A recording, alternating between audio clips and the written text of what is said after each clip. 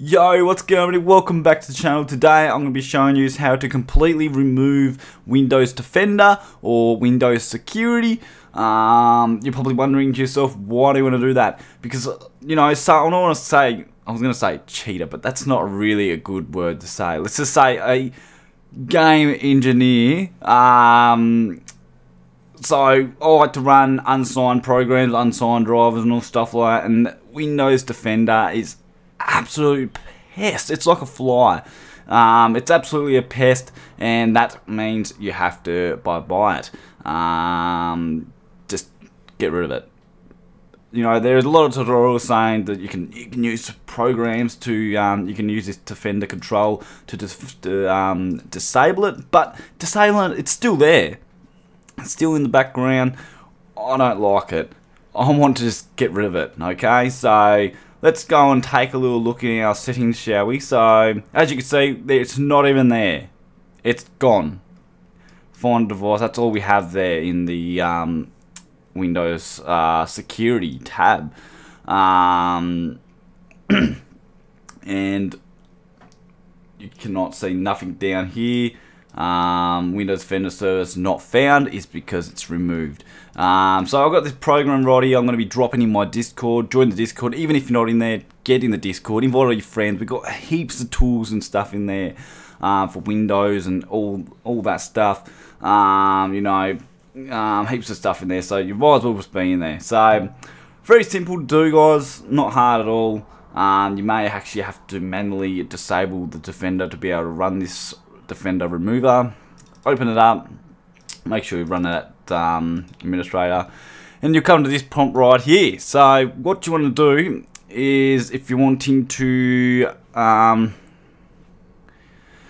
you can either you've got three options to do okay you can remove a windows defender and antivirus plus disable all security um, or you can click a and remove all windows um, Windows Defender only, and or but keep uh, AV no UAV no a, UAC enabled.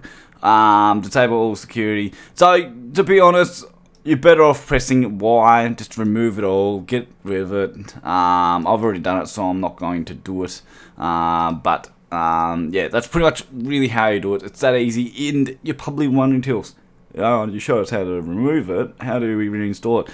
Pretty simple. Just go on Google um, and just, you know, just type in um, Windows Defender, download, and pretty simple from there. You can download it because it just will not download. If you like update your PC, it will not um, download um, it.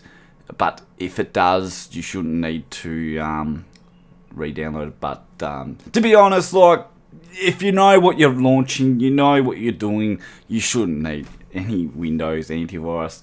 Um, to be honest, um, you know, there's a lot of programs where you can actually look into a program before you run it and see what it actually does.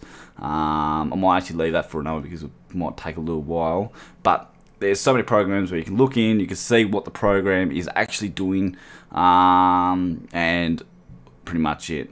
And um, a lot of people say, oh, well, if you aren't really 100% sure running a program, why aren't you running a VirtualBox? You know, VirtualBox are really good, but the issue with VirtualBox is that some, um, you know, uh, rat developers, they develop ways to get out of the VirtualBox, so rat to bypass VirtualBox and actually go onto your main machine. So VirtualBox is still good, but personally, um, just know what you're. You know, not just just know what you you're launching and know what you're doing.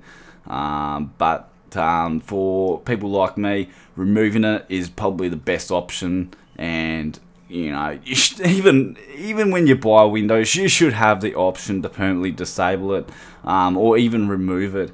Um, it's pretty ridiculous. You spend I don't know how much Windows is today, but um, if you buy a product, you own it. You you have the full, you know, like not this. Oh, you could buy it, but we're gonna limit you to what you can do with it. You know, like um, I feel like yeah, nah, I'm not about that. So, yeah, hope this all helped you out. I hope you can catch on the next video. Make sure you hit that subscribe button, click the like button, leave a comment what you reckon about the tool and stuff like that. And hopefully I can catch you on the next video. I'm out of here. Peace.